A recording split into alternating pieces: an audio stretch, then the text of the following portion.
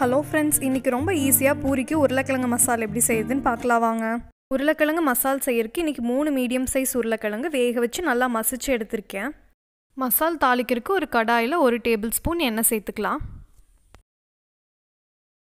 எண்ணெய் இப்போ நல்லா சூடாயிடுச்சு இதில் அரை டீஸ்பூன் கடுகு ஒரு டீஸ்பூன் கடலைப்பருப்பு அப்புறம் ஒரு டீஸ்பூன் பொடியாக நறுக்குன இஞ்சி மூணு பல் பூண்டும் சேர்த்துக்கலாம்.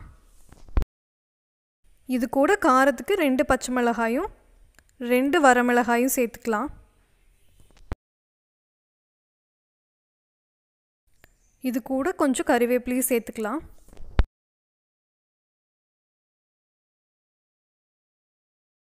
பூண்டு இஞ்சி எல்லாமே நல்லா வதங்கிடுச்சு. இப்போ இதில் ஒரு பெரிய வெங்காயம் சேர்த்துக்கலாம். வெங்காயம் நல்லா செவக்கிற வரைக்கும் வதக்கிக்கலாம்.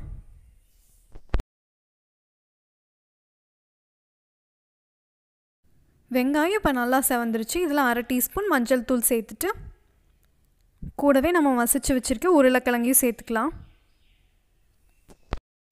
மசாலுக்கு தேவையான அளவு தண்ணி சேர்த்துக்கலாம்.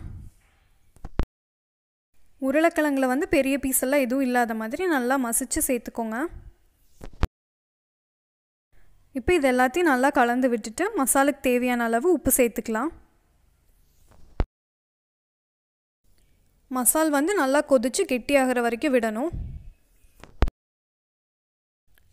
இப்போ மசால் நல்லா கொதித்து கெட்டி ஆயிடுச்சு கடைசியாக கொஞ்சம் கொத்தமல்லி தலை மட்டும் சேர்த்து ஸ்டவ் ஆஃப் பண்ணிக்கலாம்.